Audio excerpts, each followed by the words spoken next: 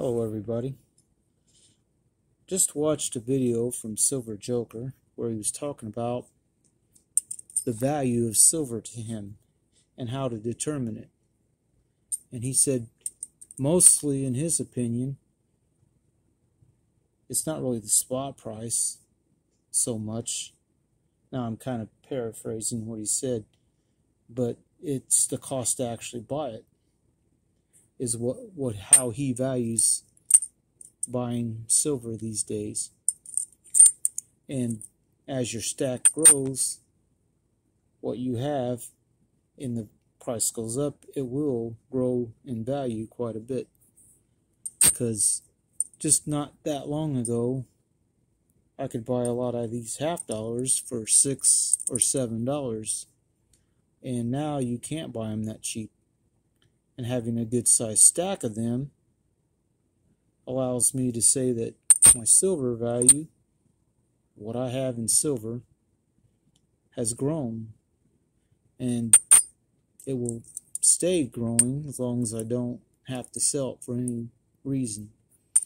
Now, I have seen videos where people talk about why would you sell silver? Well, there are good reasons to sell it you got a lot of loose junk like this and you want to get something that's premium but you don't want to take a bunch of cash out of the bank to do it you might be able to work out a trade basically where you go in with a bunch of this stuff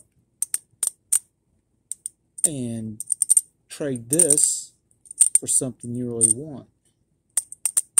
Because if you've got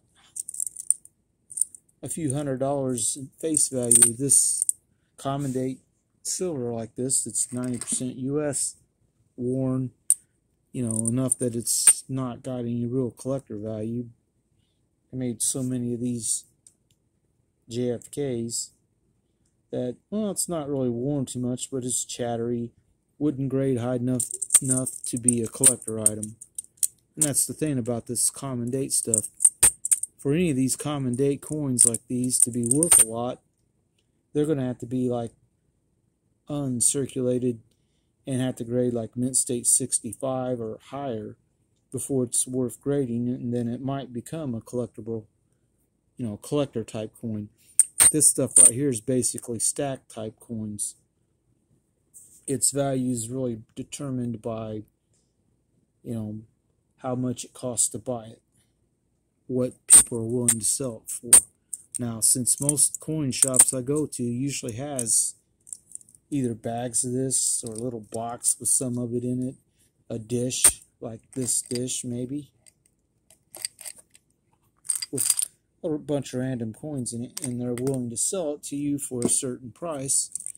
Here recently, it's probably been closer to about 24, 25x but historically, it's usually less. And if silver goes down a lot, they'll probably lower their prices because the way I feel about it, I'm not going to buy much of this at the kind of prices it is.